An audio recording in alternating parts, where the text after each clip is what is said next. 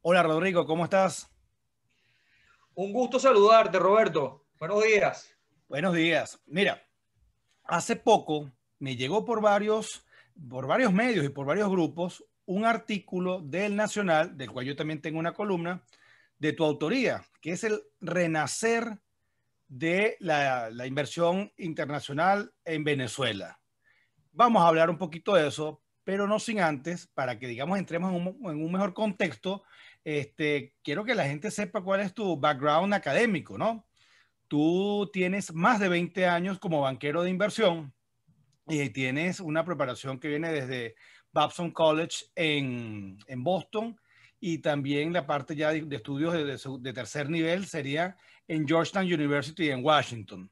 También tienes una amplia experiencia en lo que es, este, por ejemplo, tengo aquí que en JP Morgan, MBN, MBN AMRO, y relacionado directamente con estructuración de deudas, etcétera. Bajo esa, esa, esa preparación académica que tú tienes y el contenido de tu artículo, de tu columna, me gustaría que nos explicaras un poquito cuál es esa, cómo entender esa idea de renacimiento de la inversión extranjera internacional en Venezuela, pero para profesores o personas no financieras, o sea, para, digamos, el ciudadano que está escuchando esta conversación que estamos teniendo. Por supuesto, Roberto. Mira, yo creo que antes de, hablar de si hay un renacer en Venezuela de la inversión extranjera en estos momentos, en el artículo, no sé si, si delimité un tiempo, pero nosotros lo, venimos observando y venimos actuando eh, en los últimos 18 meses de manera muy activa. Eh, creo que es muy importante hablar de qué tipo de actividad de inversión extranjera hubo en Venezuela en el pasado, en las últimas dos décadas. Y, y, y, y, si estás de acuerdo, Roberto, yo creo que vale la pena y es muy importante ver cómo fue la actividad en Venezuela en los años 90, luego qué ocurrió del 99 al 2006, porque es una etapa distinta a la del resto de los años 90. Luego viene una etapa que es el congelamiento del 2007 hasta hace, yo diría, mediados 2019, donde hubo muy poca eh, inversión extranjera y, luego hablar sobre, sobre do, donde hacemos hincapié en el artículo, que es el, lo que ocurrió en los últimos 18 meses aproximadamente. Eh, bueno, y, y, cuando hablemos de eso, si, si, te parece, también creo que vale la pena hablar del perfil de esos inversionistas, que es lo que están viendo en Venezuela. Sí, me, me llama mucho la atención, porque además de, de, que me remitieron ese link, que ya yo lo había leído, digamos, cuando me llega la primera, la primera oportunidad, lo leo y después me llega con, con comentarios, ¿no? Y uno de ellos es que el perfil es distinto, si se ve que haya un cierto movimiento en la calle. Quién sabe si la percepción, digamos, que tiene el ciudadano normal es distinta cuando tú ves ya los nombres, los números en macro, cuando ves el país más allá de lo que está en las calles, cuando tú ves el país más allá de, del día a día, ¿no? Porque date cuenta que hace unos cuantos años tú tenías el tema de que no había nada en los anaqueles, ahorita sí los hay, pero, pero en dólares. Entonces, me gustaría sí esa apreciación de los distintos tipos de inversión que lo podemos ver, porque la realidad es otra. O sea, antes había un control de, de cambio, que había incluso riesgos muy grandes a aquellas personas que podían, digamos, este, hacer inversiones en moneda extranjera.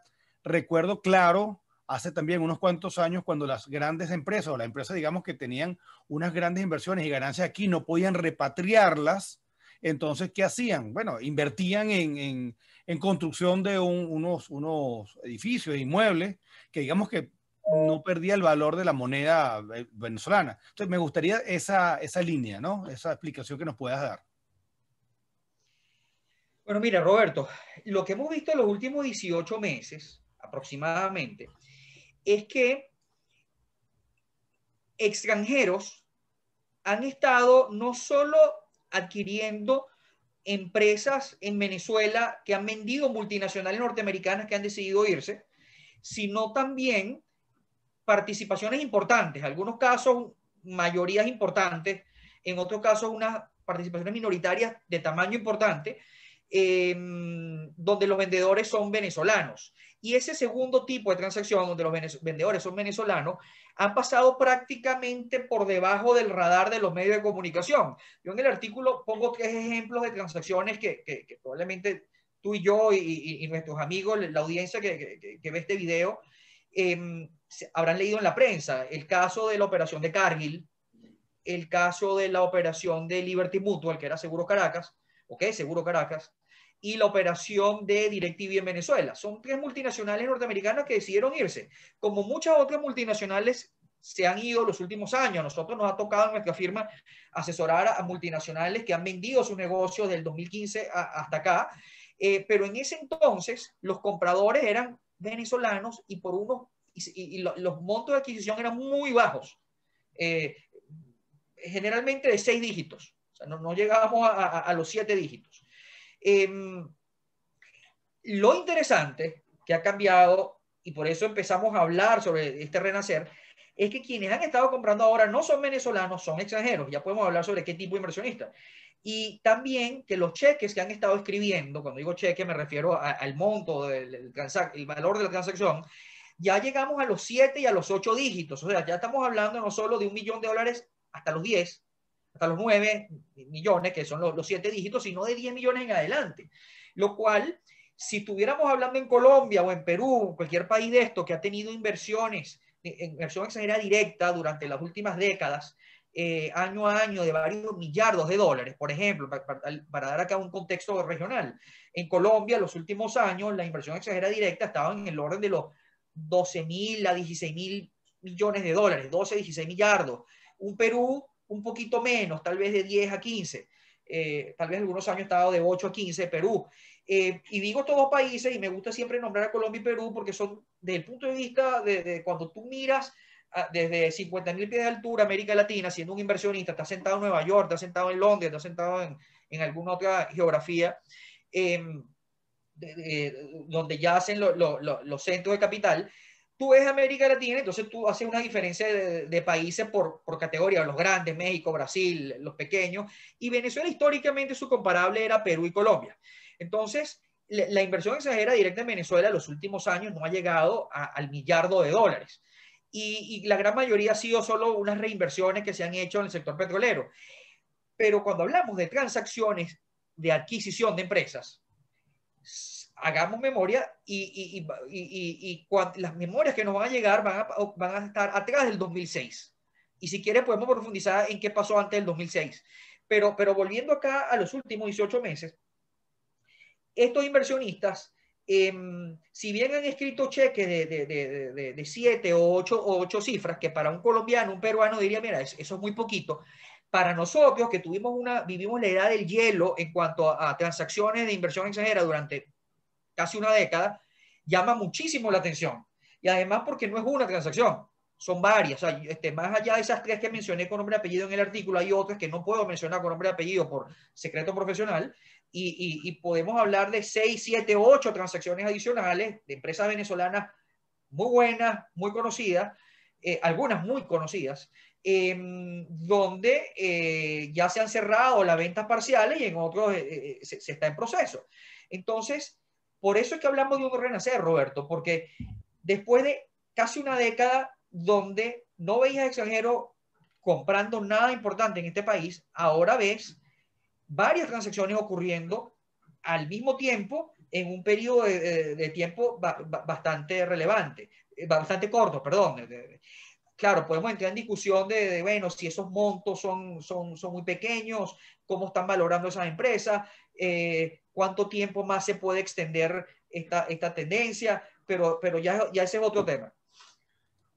Tú tienes una experiencia en lo que se llama Merge and Acquisitions que es fusiones y adquisiciones. ¿Cómo se percibe esa actividad, ese, ese tipo de, de, entrada a los estados, en el caso, por, por, ejemplo, de Venezuela, este, de, los, de los inversionistas globales? O sea, ¿cómo, cómo mencionaste también así, cuando ves a 50 mil pies de altura, toda Latinoamérica, el, el, globo, ¿cómo ves tú ese radar de, de qué debe un inversionista poner en como digamos como punto esencial para meterse en Venezuela? Muy importante esa pregunta, Roberto.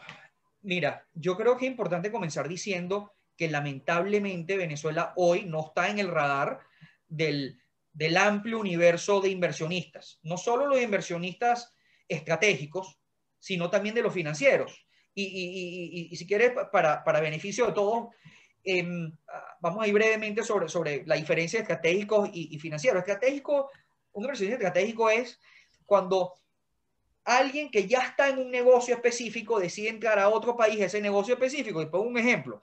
Cuando en los años 90 Bimbo, empresa de pan mexicana decidió entrar a Venezuela comprando dos em, negocios panaderos que ya existían en Venezuela, es un, era un inversionista estratégico, está entrando en el negocio que él sabe. Lo mismo cuando en los años 90 Liberty Mutual, basada en Boston, decidió entrar a Venezuela y compró Seguros Caracas, era un inversionista estratégico, compró algo que él sabe manejar y que es lo que usualmente hace.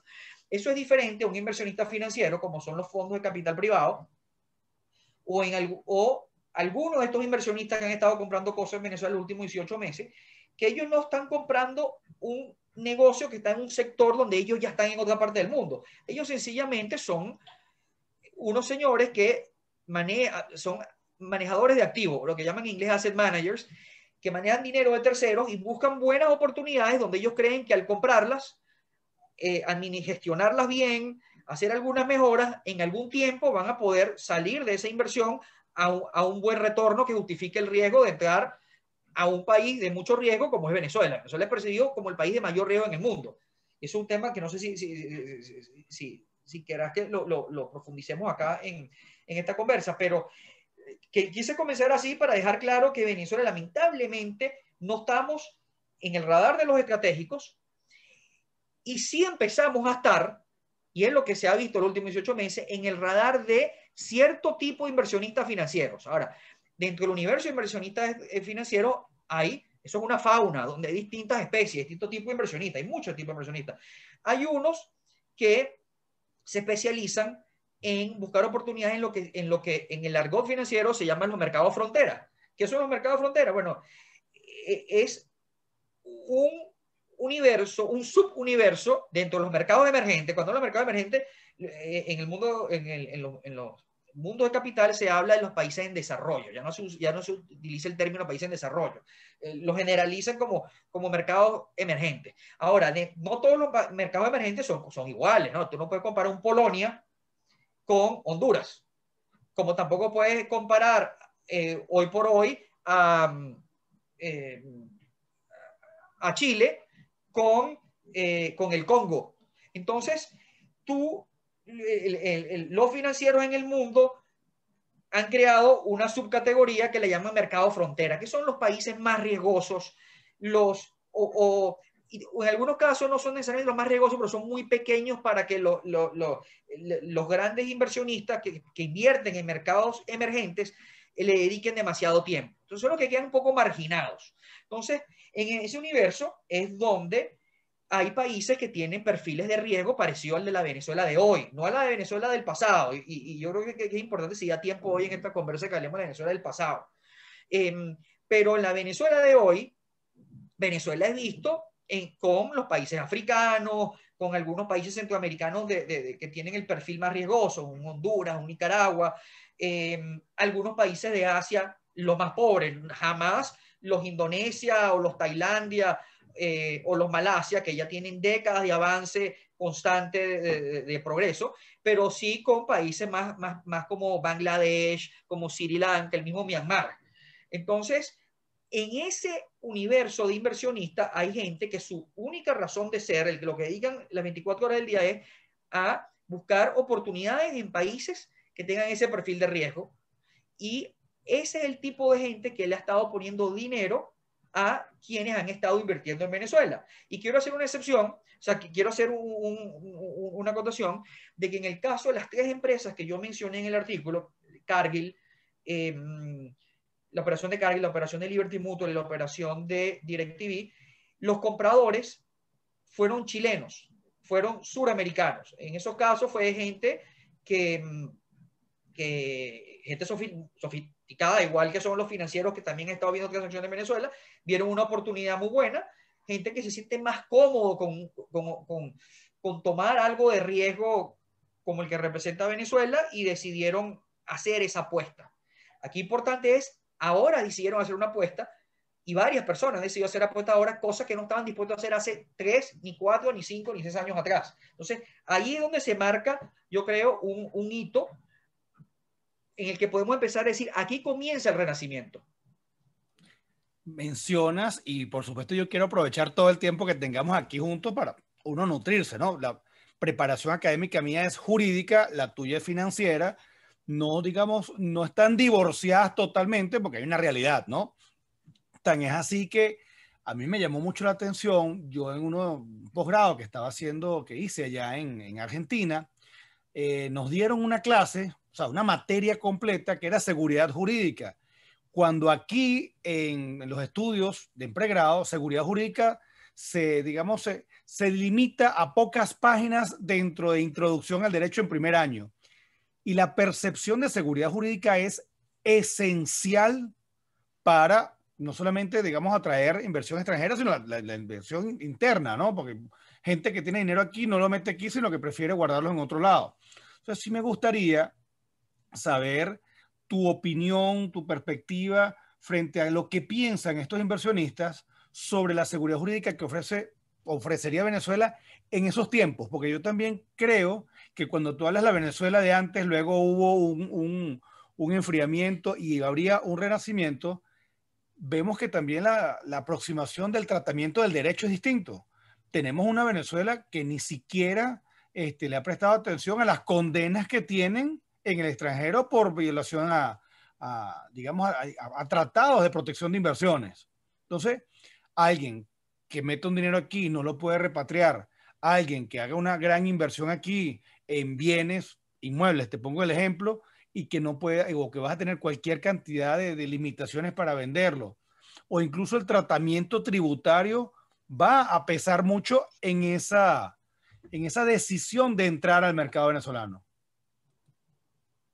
Sí, mira, lo que dices es sumamente importante porque es en gran parte la razón por la cual los montos que se han pagado en Venezuela por, por, las empresas que se han negociado y las que, están por, las que están en proceso de negociación son tan bajos. Y cuando digo tan bajos, es, es relativo a lo que valían esas empresas en Venezuela hace, hace varios años, y podemos hablar ahorita detalles, o sea, podemos hablar un poco de ejemplos, si, si te parece conveniente, y también si lo comparas con empresas similares en, en Colombia o en Perú. Te pongo un ejemplo, mira, la, la, la transacción de Cargill, que Cargill, pues es una empresa que en Venezuela, la operación de Cargill Venezuela en una época llegó a vender 400, 500 millones de dólares al año eh, y con 10 plantas, no, no, creo que, todas hayan estado funcionando los últimos, los últimos años, pero el hecho es que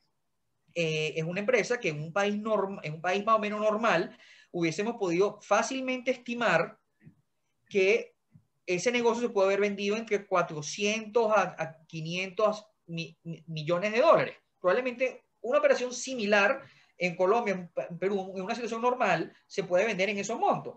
En el caso de Venezuela, eh, el, el, monto estuvo apenas, oh, estuvo alrededor de los 10 millones de dólares. Entonces tú dirás, oye, como una cuestión, un activo que en un país normal pudiese valer, vamos a ser más conservadores, 300 millones de dólares. ¿Cómo se venden solo 10? Bueno, porque hay una cantidad de riesgos enormes eh, operando en Venezuela. Eh, y, y, no hablemos solo los riesgos físicos, los, los, riesgos de la falta de electricidad, seguridad personal para los ejecutivos, etcétera. Pero un componente muy importante que se utiliza en la tasa de descuento es el riesgo país. Bueno, la tasa de descuento se basa en, la tasa de riesgo país. Claro, en el caso de Venezuela está un poco inflada por, por, la realidad del default, de que Venezuela tiene su deuda externa, la, la, la, República, la de PDVSA, en default de hace varios años, y eso te, te, te aumenta el rendimiento de los bonos de, de, la República y a consecuencia de la tasa de descuento que se debe utilizar.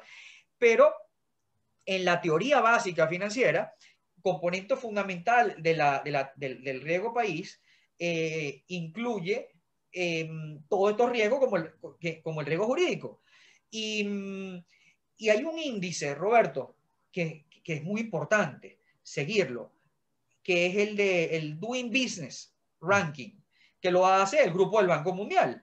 Eh, en los números del 2020, o sea, en el ranking del 2020, eh, Venezuela, creo, si mal no recuerdo, era el puesto 188 de 190 países. O sea, de 190 países, nosotros somos el antepenúltimo. Y eso es en cuanto a la facilidad o, las condiciones para hacer negocios. Y eso te incluye desde cuánto tiempo se tarda en Venezuela conseguir aprobaciones para comenzar un negocio. Creo que en el caso de Venezuela éramos, también estamos, siempre estamos en los últimos 10 eh, eh, del mundo en todo. Eh, cuando en América Latina el promedio son creo que 31 días para montar un negocio, en Venezuela eran creo que 230 días. Entonces, ya partiendo de, ahí te das cuenta de que, de que el, el, marco eh, regulatorio, eh, las leyes en Venezuela no contribuyen en nada, pero también tienes otras cuestiones que, mm, que, que, son muy importantes y donde se pudiese desde ya empezar a dar unos, unos avances, o, al menos si, si, Venezuela quiere mandar un mensaje al mundo de que la inversión es bienvenida, fácilmente pudiese, pudiesen las autoridades en los próximos meses o en la próxima semana inclusive hacer una, una gran demostración. Y te voy a dar un ejemplo sencillo.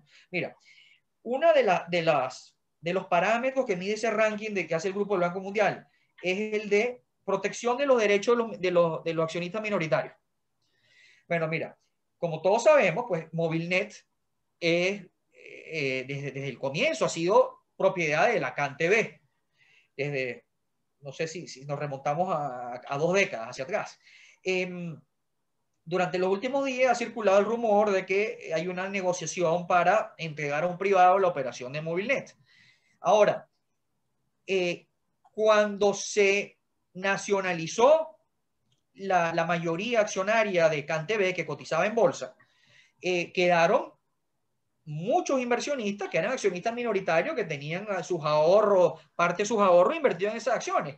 Y esos señores pasaron a ser accionistas minoritarios en una empresa donde el Estado era el accionista mayoritario. Bueno, lo que se comenta, y probablemente tú tienes mucha más información que yo de esto, es que el, el, el, el Estado venezolano en el pasado reciente hizo un spin-off. ¿Qué significa spin-off? Separaron Movilnet, que era una subsidiaria de, de, de CanTV, y la, y, la, y la separaron como un vehículo aparte, el cual, el rumor, según el rumor, se estaría o vendiendo o negociando algún tipo de alianza público-privada. Bueno, el hecho es que si Venezuela, si las autoridades quisieran mandar un mensaje al mundo de que aquí nos vamos a enseriar y queremos que, que la gente nos mire como, como, un país serio en lo cual poner su dinero, oye, el, el, quien, quien esté asesorando a los hacedores de política debería decirle, señores, si no tienen el dinero en efectivo para pagarle a los accionistas minoritarios de CanTV por haberle desprendido una parte de su empresa, es como que le hayan cortado un brazo a CanTV al separar a Movilnet. Bueno, entonces hagan una valoración eh, hecha por alguien respetado o alguien conocido y páguenle con acciones de la nueva entidad que sea dueña de Movilnet a estos accionistas minoritarios. Y, y te puse un ejemplo que es muy grande, y, que, y, y, donde el Estado venezolano pudiera mandar un mensaje muy fuerte. Eh, pero esta situación de irrespeto a los accionistas minoritarios se, se, repite constantemente en Venezuela en el sector privado. Entonces, eh, te pongo este ejemplo porque si bien aquí hace falta hacer ajustes eh, en las regulaciones, en las leyes, también, también debemos decir que no solo hace falta una, la iniciativa no solo debe venir desde el sector oficial, también debe venir del sector privado. Si queremos desarrollar los mercados de capitales, y yo soy creyente en, que, es indispensable desarrollar los mercados de capitales, en nosotros mismos, el sector privado, tenemos que también tomar la bandera de que hay que defender los intereses de los accionistas minoritarios, por ponerte un ejemplo. Y date cuenta que cuando uno ve la perspectiva, no hay que cambiar nuevas leyes, simplemente lo que está allí que se cumpla, porque eso es lo que te va a dar certeza, ¿no? Aquí el problema es que tú tienes una sentencia que te puede salir del Tribunal Supremo en sala constitucional y a la semana siguiente otra totalmente contraria. Entonces, ese es el tema que tú lo vas a valorar. Y recuerdo cuando mencionabas el índice del Doing Business, yo soy colaborador en, otro índice que se llama World Justice Project, el de, el de Rule of Law Index. Y de verdad, Venezuela termina de última siempre. O sea, nosotros nos mandan unos cuestionarios que tienen algo específico. Imagínese que usted tiene un caso así, ¿cómo sería la respuesta si usted pudiera garantizar? Y eso lo están haciendo en todas partes del mundo varios profesionales y eso después da un resultado y estamos de último lugar. Realmente es muy grave. En el, en el artículo, tú mencionas algo que yo desconocía, que era, hay varias, Venezuela tiene más de cinco ciudades con más de 500 mil personas y eso sería una, una ventaja sobre muchos otros países de la región. Me gustaría que ahondáramos un poquito sobre eso. Mira, Venezuela tiene una cantidad de ventajas, eh, o sea, de fortalezas y de potencialidades por encima de, de, no solo, yo me atrevo a decir, y, asumo la consecuencia, que por encima de todos los mercados frontera del mundo. De vuelta, mercado frontera, estamos hablando de países africanos, algunos países latinoamericanos, los más pequeños, y algunos países de Asia. En cuanto a los mercados frontera, me atrevo a decir que tenemos más que, todo, que, que todos ellos. En cuanto a los demás mercados emergentes, donde, bueno, ya ahí este, tienes que, que, te estás comparando con gente como Brasil, México, Turquía, Polonia, eh, Tailandia, etcétera. Eh, yo creo que tenemos una cantidad de fortalezas y de, potencialidades que los mismos venezolanos no estamos conscientes y que es importante que hagamos este, eh, este esfuerzo, Roberto, en, en, los distintos gremios nuestros, en, en nuestros distintos espacios, porque tenemos que resaltarlo y tenemos que pensar sobre ello a ver cómo se le saca provecho. Y tú mencionas uno, tú mencionas uno que, que, que, que es una ventaja para quien está en negocio de, de, de bien sea de, de, distribuir productos de consumo masivo o de prestar servicios, porque tienes a la población, al grueso de la población concentrado en pocos sitios. Entonces vamos a imaginarnos que tú eres un cablero, o sea, un proveedor de televisión por cable o de internet por cable, o sencillamente tú estás trayendo algún nuevo producto comestible. Y eh, no es lo mismo llegar a un país donde una parte importante de la población está distribuida en muchas ciudades pequeñitas, de, menos, de alrededor de 100.000 habitantes o menos, y, pueblitos y caseríos, a conseguirte un país como Venezuela, donde no solo tienes que, que el 85% de la población es, es urbana, que ya está en ciudades, pero que además está concentrada en pocas ciudades grandes, porque tú puedes tener el mismo porcentaje de población eh, urbana, pero distribuido en muchísimas ciudades pequeñas, de 100.000, 200.000 habitantes. En Venezuela, no, no porque lo hayamos planificado así, sencillamente porque así se dio la, la, la, la urbanización del territorio, pues existe esa, esa, esa ventaja. Absolutamente. Mira, tú trabajas en una firma que asesoras este tipo de, de, de operaciones, ¿no? ¿Cuáles serían, digamos, las, las inquietudes de las personas que acuden a los servicios por ustedes prestados. Te lo digo porque en el caso mío, que a lo mejor más que inversionistas, digamos, institucionales, grandes, son más, son más pequeños y me ha tocado, digamos, referirles de esta realidad, no solamente venezolana, sino global, de, bueno, ya las, la, el, el, COVID nos pone a repensar muchas cosas. hay, digamos, jurisdicciones en las cuales si vas a invertir en Venezuela, hay ventajas, por ejemplo, de países que tienen convenios para evitar la doble tributación, de protección de inversiones, etcétera. Digo, para irme metiendo al agua no tan, tan bruscamente, sino con ciertas, sabemos que las garantías absolutas no existen, pero sí con mayor previsión. ¿Qué te piden, digamos, estas personas que tú les, les das opiniones? Mira, bueno, yo quiero, quiero aclarar, Roberto, que mm, que nosotros no opinamos sobre asuntos que tengan que ver con, con derecho. Nosotros siempre le decimos a nuestros clientes cuando nos, cuando nos hacen la pregunta, por ejemplo, ¿qué jurisdicción conviene para establecer una empresa, para bien invertir en Venezuela o invertir en otros países? Pues nosotros también asesoramos a algunos de nuestros clientes eh, venezolanos, los hemos asesorado haciendo adquisiciones de empresas en otros países, en la región andina, en el Caribe, Centroamérica, etcétera. Entonces, no, no, no, nuestro trabajo no es solo asesorar a, a, nuestros clientes cuando están o vendiendo una empresa en Venezuela o queriendo comprar una empresa en Venezuela, pero también cuando están haciendo cosas hacia, hacia, hacia otros países. Eh, pero cuando salen ese, ese, esas, esas interrogantes que son, que son importantísimas, ¿cuál es la jurisdicción correcta y eficiente por distintas razones para invertir en, te voy a poner un ejemplo, República Dominicana o en Colombia o en Venezuela? Nosotros inmediatamente le pedimos ¿Tú tienes abogados, tienes tu abogado de confianza en esta materia o quieres que te demos una lista de, de, de bufetes para que tú decidas o te entrevistes con ellos y decidas con quién quieres trabajar? Porque es muy delicado para un banquero de inversión ponerse a opinar de algo tan delicado y que necesita un conocimiento tan, tan particular y sensible como el que tienen ustedes los abogados. Nosotros nos limitamos más bien, nosotros nos limitamos a, a la parte financiera y estratégica. Cuando digo estratégica, eh, no estoy hablando del punto de vista eh, gerencial, me refiero más estratégica relacionado a qué tipo de empresa es la que te conviene comprar y en qué país. porque muchas veces nos llegan clientes que están muy claros, dicen, mira, yo quiero buscar en República Dominicana. Hay gente que, que no está clara, hay gente que dice, mira, yo soy indiferente.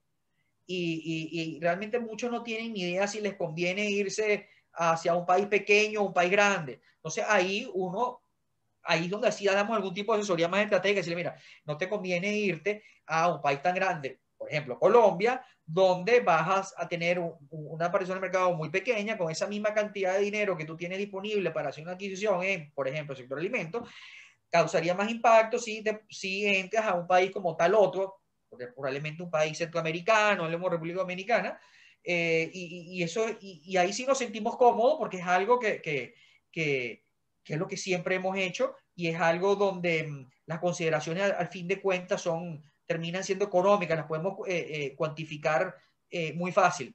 El, el, el, campo legal lo respetamos muchísimo y, y, se lo confiamos solamente a abogados como ustedes. Mira, la realidad es que el mundo cada vez es más pequeño, ¿no? Y la realidad también es que luego de lo que estamos aquí pasando, es más, esto tengamos tú y yo una, una conferencia, porque ahorita porque estamos los dos en Caracas casualmente, pero puede ser en todas partes, vemos que la gente está tratando de, de, de, reestructurarse de mejor manera y buscar un lugar donde puedan estar. Y el tema de la seguridad jurídica y el tema de la protección de la inversión es esencial, es esencial. Me gustaría, es imposible tener una bola de cristal, es imposible decir, bueno, mira, en Venezuela en los próximos 10 años estamos arrancando, digamos, el, el el segundo decenio del, del, siglo XXI, cómo vamos a estar en el 2030. Eh, es imposible, ¿no? Pero me gustaría que con esa apreciación de los mercados fronteras, mercados emergentes, la inversión que pudiera recibirse, ¿cómo pudiéramos percibir Venezuela? Yo, porque independientemente de las lecturas objetivas, yo soy un creyente del país, veo que hay muchas oportunidades que se abran probablemente porque hay realidades que deben ser abordadas. Servicios públicos, servicios privados en general, este, hay tan deterioro que cualquier, digamos, inversión puede ser, digamos, absorbida directamente por, lo, por, por, por el público y lo va a contratar. ¿qué, ¿Qué apreciación tienes tú? Mira, Roberto, el,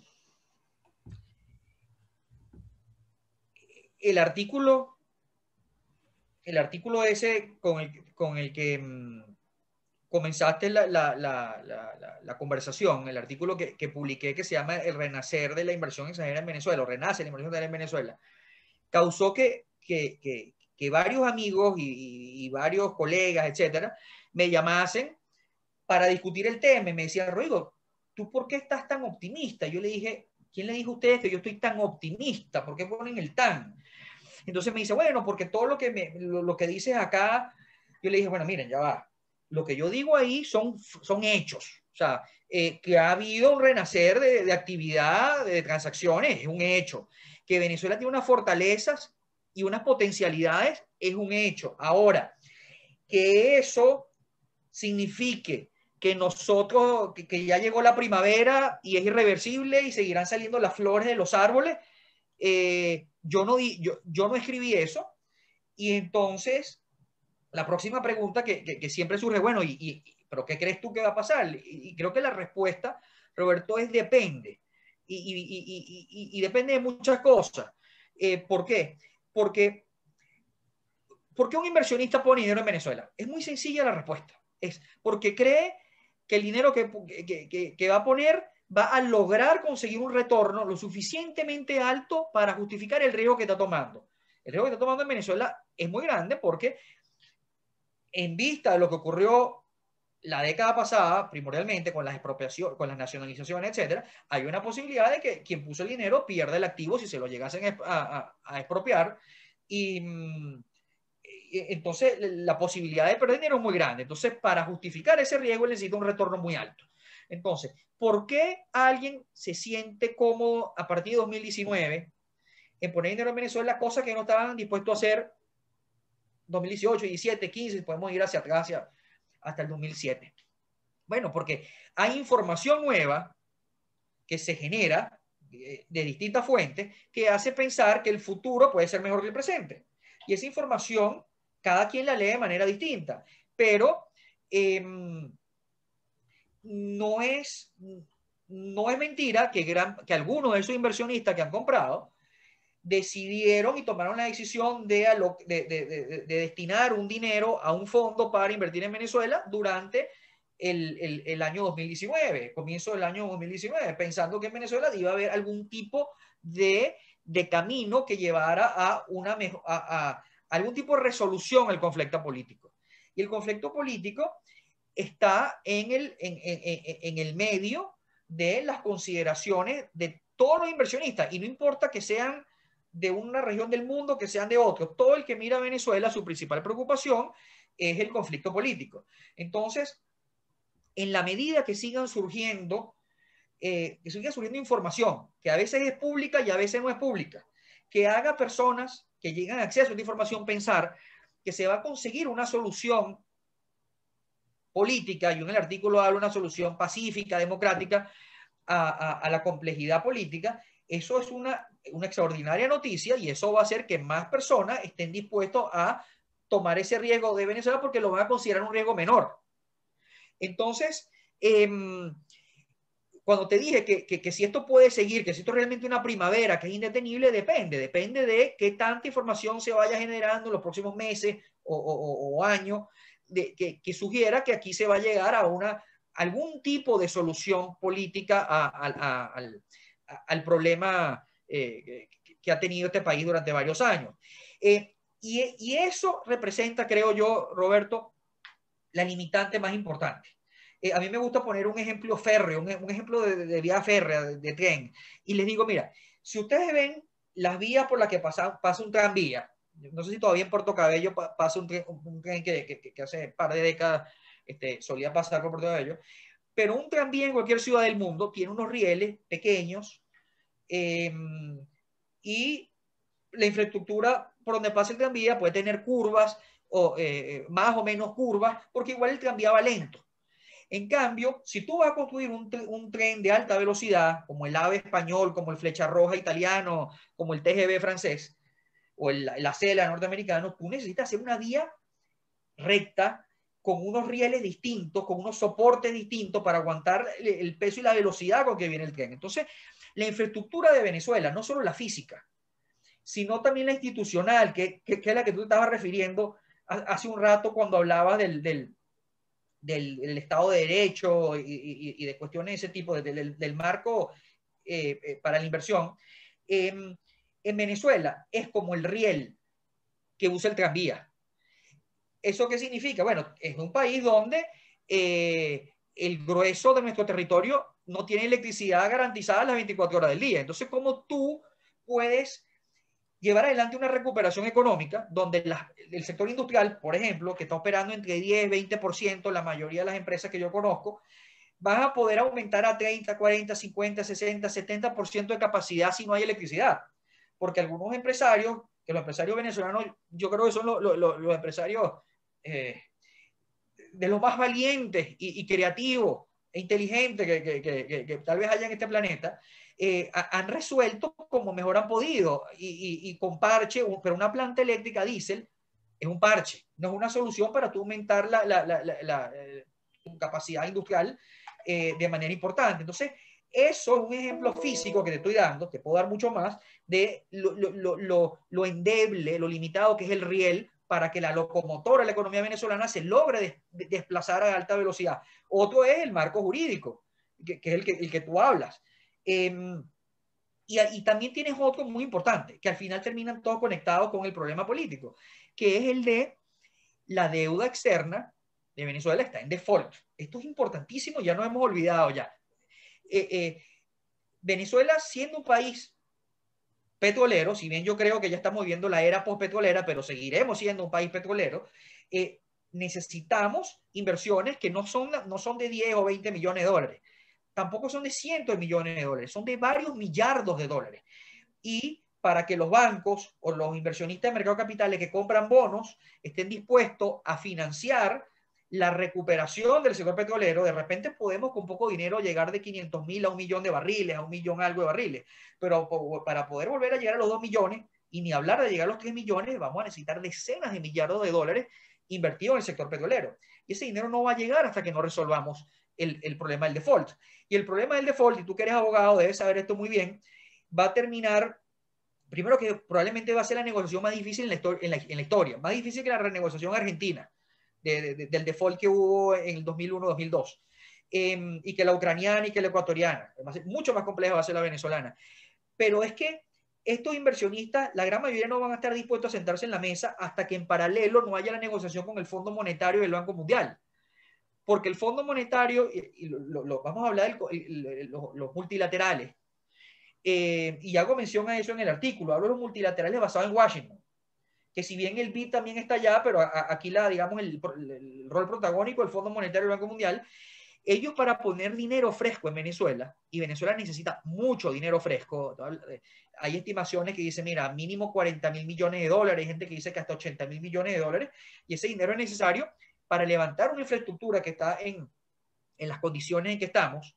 Em, entonces, para recibir ese dinero, que es necesario para transformar esos rieles del tranvía en unos rieles de tren eh, para que eventualmente pueda ir un tren a gran velocidad y la economía realmente crecer, eh, va a necesitar que los accionistas mayoritarios del Fondo Monetario, del Banco Mundial, tengan la voluntad de decir, ok, vamos a sentarnos con Venezuela y vamos a negociar un acuerdo. Y ese acuerdo que se llegue con ellos, que va a liberar grandes cantidades de dinero, también es el que va a sentar las condiciones para la reestructuración de la deuda con los acreedores, los que le debemos dinero, porque a ellos le van a tener que, aplicar un, lo, que lo, que los argentinos llaman una quita, pero yo creo que en, mejor castellano sería un, descuento al valor nominal de esa deuda. E, eso tiene que hacerse en coordinación con los multilaterales porque ellos son los que van a correr el modelo de sostenibilidad de la deuda, de la deuda externa de Venezuela. Entonces, eh, ahí todo termina otra vez en un acuerdo político, porque los accionistas mayoritarios del Fondo Monetario Banco Mundial van a decir, ok, ustedes los venezolanos lleguen a un acuerdo que tiene que ser lo suficientemente digerible o digestible eh, para nosotros internamente, o sea, nosotros los Estados Unidos, nosotros los europeos, sea potable desde el punto de vista político, pero la política interna de ellos para ellos poder agarrar y decir, adelante Fondo Monetario, Banco Mundial, vayan adelante con, con Venezuela, negocien, firmen y desembolsen el dinero. Entonces, este, yo creo que, que, que, ahí ya con este, este, haciendo esta aclaración, eh, creo que englobo el, eh, el optimismo y, la viabilidad de que esto se va a ver una, una, un comienzo, que que renacer no sea solo un, como en España hay un dicho que, me causa mucha gracia, dicen que es arranque de pura sangre andaluz y frenazo de burro manchego. Entonces, ahí veremos si, este renacer es un caballo andaluz o, es un burro manchego. Mira, en esa breve exposición que tuviste, mencionas tantas cosas tan interesantes. Por supuesto, el elemento político está allí.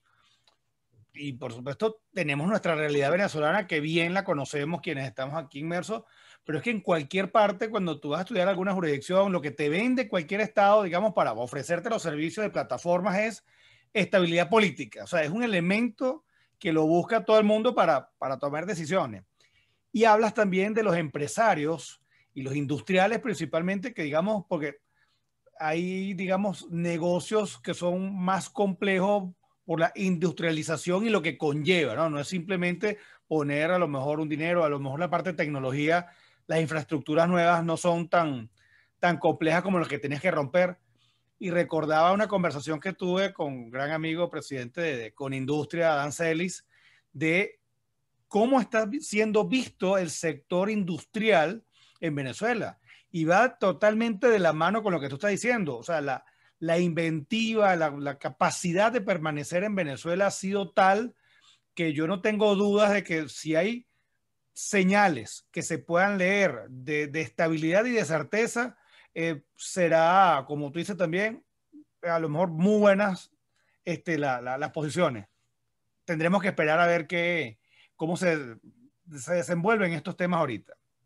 Ya como, como acercándonos a las ideas finales, me gustaría tus consejos, reflexiones a las personas que, digamos, tratan de obviar ver la, situación venezolana cuando es una realidad. Es una realidad que necesitamos invertir, es una realidad que se necesita el llamado de, inversión extranjera, es una realidad que operaciones de estas se seguirán dando, unas más públicas, otras conversaciones más, más cerradas. ¿Qué le dices tú al ciudadano que nos ve, que no necesariamente este, está metido de cabeza en la parte de inversiones, no conoce las instituciones, no conoce cómo esto, de cómo abordar esta realidad que estamos viviendo. Ah, y no quería pasar por alto que podemos aprender de todo esto de la pandemia, que estamos viendo cómo los estados están, digamos, relanzando sus, actividades económicas.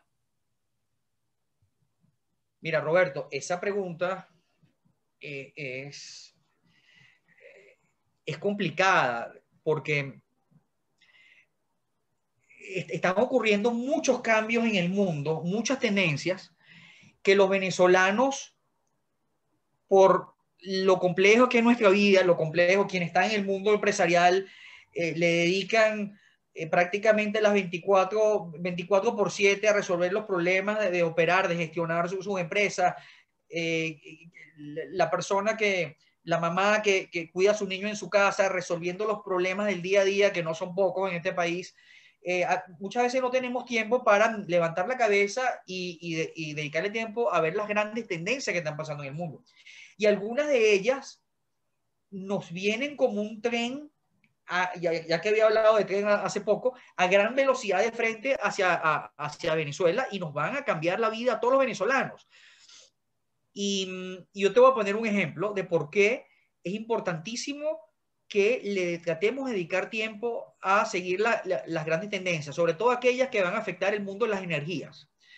Em, pues, como todos sabemos, Venezuela hemos sido desde, hace aproximadamente un siglo un país petrolero en el que llegamos al, extremo hace no muchos años a que más del 95% de nuestras exportaciones, nuestra capacidad de generar divisas, eh, venía de la exportación del petróleo.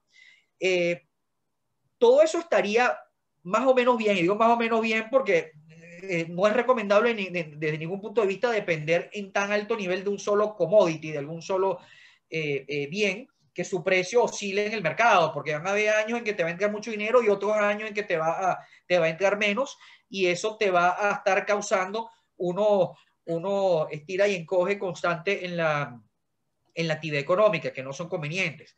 Pero el, problema estructural serio es que el, la concientización en el mundo hacia, la, hacia el calentamiento global, hacia, la destrucción del planeta, em, gracias a Dios, lo digo yo como alguien que, le da mucha importancia a los temas medioambientales, em, ha agarrado una velocidad que afortunadamente ha agarrado una, velocidad impresionante y que eh, algunos dicen que es una bola de nieve, una bola de nieve. Algunos dicen, mira, la reunión de Davos, Suiza, de enero 2020, dos meses antes que, el mundo nos trancáramos una pandemia, eh, en esa reunión hubo exposiciones muy importantes de algunos de los ejecutivos más importantes del mundo y también de políticos eh, en cuanto a este tema. Hubo una carta que fue muy, este, muy polémica, o muy polémica no, que, que, que se leyó mucho y fue, y fue muy trascendental en el mundo empresarial, en el mundo financiero,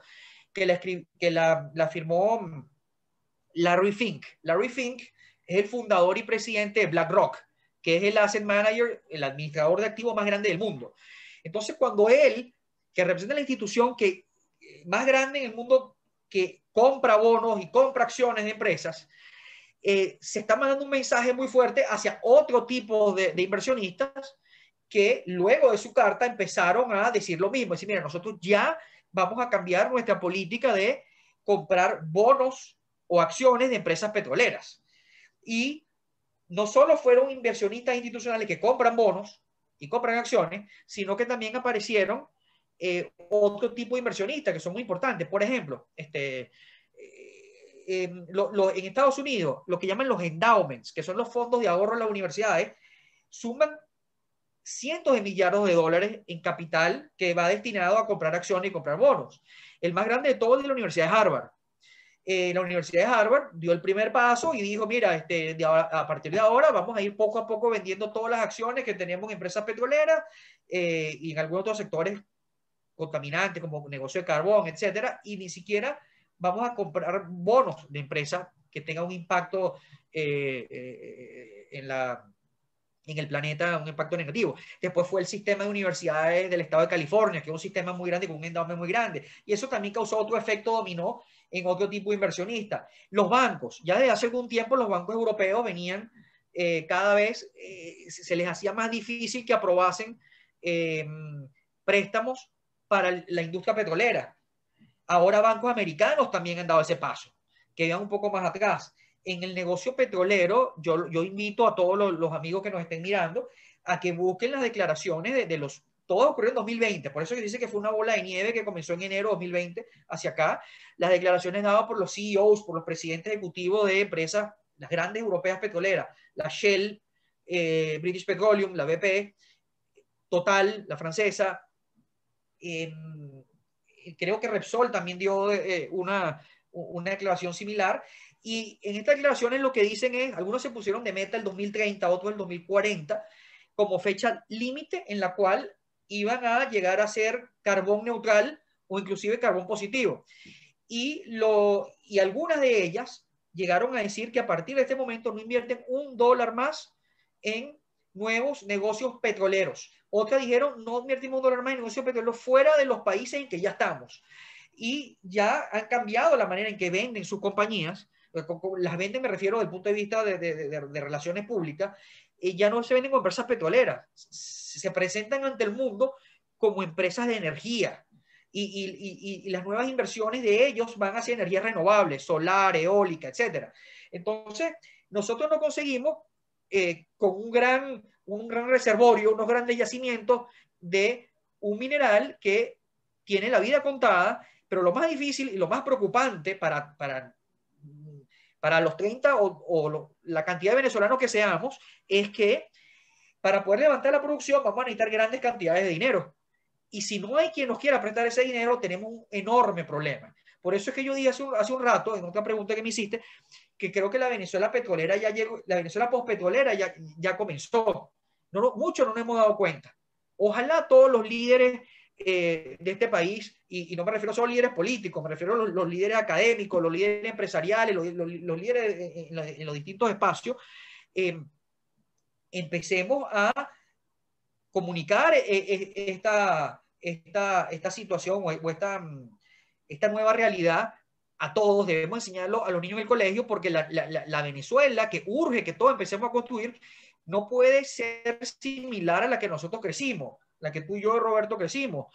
Eh, nosotros tenemos que remangarnos las mangas, como, como han hecho tantos países emergentes, y, y, buscar qué se puede producir que sea exportable, sean, sea en el mar, sea en, en, en nuestros campos, sea este, tecnología, que por qué no hay, hay casos bastante exitosos de, de, empresas venezolanas. La gente pasa que aquí en Venezuela uno no se entera, pero hace poco en Chile estaban celebrando que una empresa tecnológica chilena ganó un premio como los Oscars de tecnología y esa empresa la fundaron venezolanos.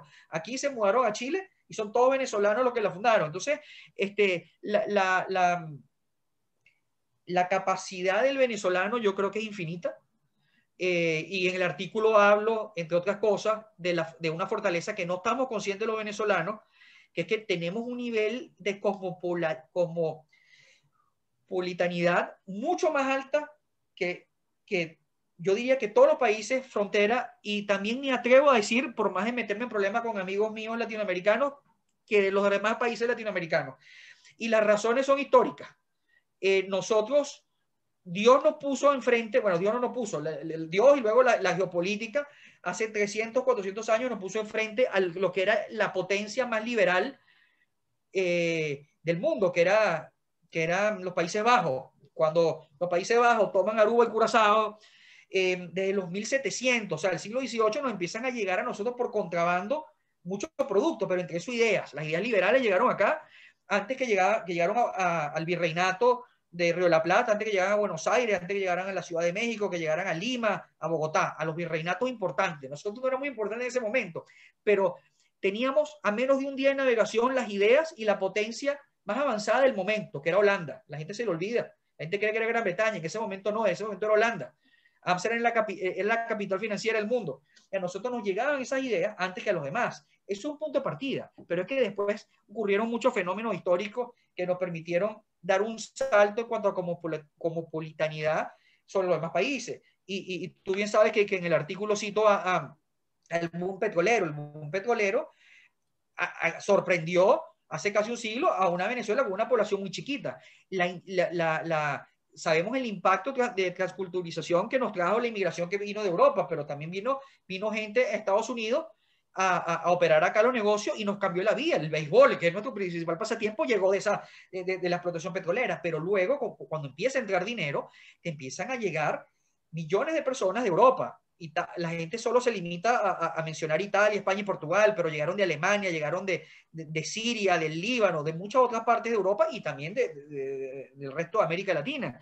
Eso, cuando lo mides como porcentaje de la población que existía en Venezuela al momento que empieza a llegar la la inmigración, representa la inmigración, como término porcentual, la inmigración más importante que ha habido en el continente, y eso crea una, una coctelera de, de, de, de ideas, de, culturas, de tradiciones que no ha habido en el continente, y eso nos hace ser como somos de abierto y receptivo. Mira lo que le está ocurriendo a, tristemente a nuestros hermanos venezolanos en otros países. Es muy triste lo que estamos viendo. Es, a nosotros nos, nos produce shock y dolor entre otras razones porque no es nuestra naturaleza ser así, no, nuestra naturaleza es ser de brazos abiertos. Pero aquí lo importante es que la mentalidad del venezolano es abierta. El boom petrolero, entre otras cosas, permitió que existiese un fundayacucho. Inclusive Cadivi, que Cadivi era un subsidio cambiario y, y, conozco miles, o sea, conozco muchas personas, pero sé que las estadísticas son miles que se pudieron beneficiar y estudiar en distintas partes del mundo gracias a eso. El venezolano se acostumbró a viajar por el mundo y, mm, y, el resultado final es que somos abiertos a adoptar tecnología, a adoptar ideas de una manera que no lo son, que, no suelen ser la gente en este continente. Em, yo recuerdo una de las una transacción que trabajé hace, hace, que hace ya 20 años más o menos, em, y puedo decir nombre eh, porque ya, ya, ahí no hay confidencialidad que me limite. En esa época yo trabajaba en Nueva York con, con, con JP Morgan y era un financiamiento que íbamos a hacer para, en esa época se llamaba Telcel Bell South la empresa que hoy en día eh, fue comprada y, hoy en día es Movistar. Y cuando vinimos a hacer la diligencia de vida acá, los banqueros vinimos nosotros y un, y un banco alemán que junto a nosotros íbamos a, liderar el financiamiento, em, nos explicó la gente de, de, de, de que para ellos su laboratorio y su ejemplo era la operación de Venezuela. Ellos también tenían una operación en Argentina, una operación en Nicaragua, en Panamá y no recuerdo qué otro país. Pero dice, mira, las, las, cosas las probamos primero en Venezuela porque los venezolanos son los que adoptan la tecnología de una manera que no te la adapta ni el argentino, ni los centroamericanos, ni, ni, ni nadie más. Y, y, aquí te pongo una, anécdota, una anécdota pero, pero he escuchado durante, durante, durante años varios cuentos similares de, de, de, cuán, cuán distintos somos en, en, en nuestra amplitud para, adoptar ideas y para mm, acoplarnos con, con, tendencia en el mundo. Entonces, eso es una fortaleza que tenemos, pero tenemos que ponerla a trabajar porque el tren nos viene de frente, Roberto. Mira, no tienes idea de la cantidad de cosas que pasaban por mi mente mientras hablaba. Y una de ellas es, cada uno de esos temas puede abrirse para, para hablarlo larguísimo, ¿no? La ventaja que tenemos YouTube, entonces nos podemos extender un poquito más. Este, pensábamos que íbamos a hablar media hora y miren lo que tenemos hablando. ¿Cómo hacemos o cómo hacen las personas que quieran contactarte, que quieran seguir tus, tus, tus artículos, tu columna? Este, a lo mejor si son inversionistas, ¿cómo te localizan? ¿Cómo siguen tu trabajo? Mira, eh, me, pueden, me pueden ubicar por LinkedIn que digamos, es, la, la, red social más, más utilizada en, en, el mundo financiero, en el mundo corporativo. Eh, si quisieran un correo electrónico, pues el correo corporativo es rnaranjo arroba vip-capital.com. Repito, rnaranjo arroba v de Venezuela y de, de inversión eh, p de partners capital.com. Perfecto. Bueno, Rodrigo, estamos en contacto. De verdad que muy complacido de poder hablar contigo y esperemos que esta sea la primera de muchas otras que podamos eh, analizar la evolución de este renacer. Bueno, ojalá sea, sea un, renacer, que sea una primavera y, y sin duda vamos a seguir conversando bastante, Roberto. Seguro, cuídate. Saludos, hasta luego.